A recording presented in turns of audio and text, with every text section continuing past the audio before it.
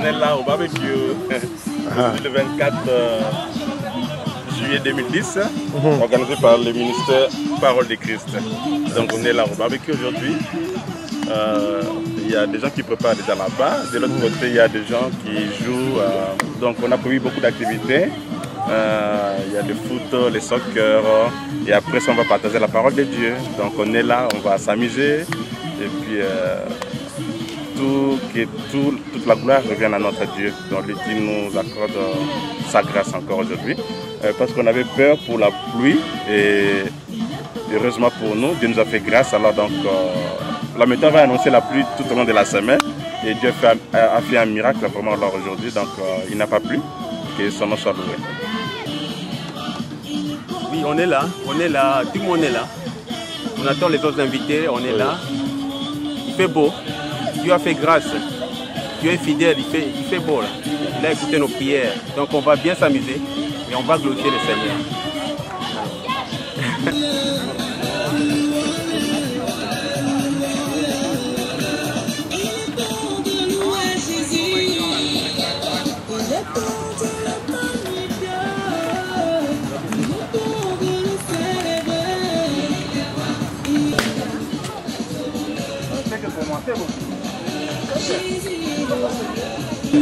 Est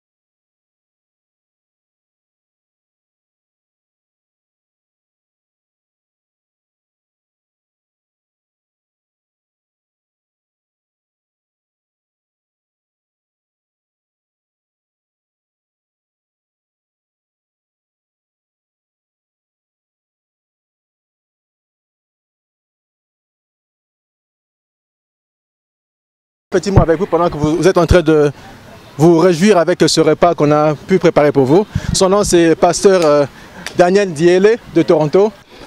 Vous ne pouvez qu'être témoin de quelqu'un. Sur cette planète, il n'y a que deux forces. Soit la force du mal ou la force du bien. Et quelqu'un dira, oh non, je suis les deux côtés. Euh, Faux. Tu ne peux pas être sous la mouvance de, ces- de ces deux forces. Tu ne peux qu'être quelque part. Soit tu es animé par la force du mal, soit tu es animé par la force du bien. Tout le monde ici, vous voyez les gens qui sont de l'autre côté, tout le monde ici dans cette parc, ils ont une identification par rapport à, à Dieu. C'est-à-dire Dieu est créateur et ils sont créatures.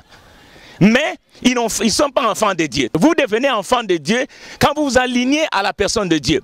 La Bible dit à tous ceux qui l'ont reçu, il leur a donné le pouvoir de devenir enfants de Dieu. Et que l'autre, au lieu de sortir, dire au peuple qui était dehors, parce que c'était une belle occasion, c'était de meilleures opportunités que quelqu'un pouvait avoir. Souvenez-vous que la ville de Sodome et Gomorre était en train d'être détruite, en, processus d'être détruite. Alors l'autre qui sort, au lieu de parler de l'évangile, au lieu de dire aux gens, et au lieu de donner la bonne nouvelle, il dit, écoutez peuple, repentez-vous, suivez Dieu. Il sort de sa maison. Est-ce que vous pouvez prendre mes deux filles qui sont vierges et laisser ces hommes partir? Quel message, quel évangile si l'autre avait prêché l'évangile à ces gens-là, il dit attention, Dieu va détruire Sodome et Gomorre. La Bible dit, Jésus l'a dit un peu plus loin ici, si Sodome et Gomorre connaissaient le message d'Isali, peut-être il se repentira. L'autre a manqué le cible d'opportunité.